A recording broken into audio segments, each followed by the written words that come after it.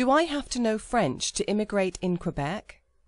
French is the official language in Quebec, and although you're not required to know French, learning French is encouraged as it will help you integrate into Quebec society and the job market. You should also keep in mind that you'll probably need a decent level of French language proficiency if you want in-depth knowledge of the immigration process. For everything you need to know about this process, click the hyperlink or call the number below this video.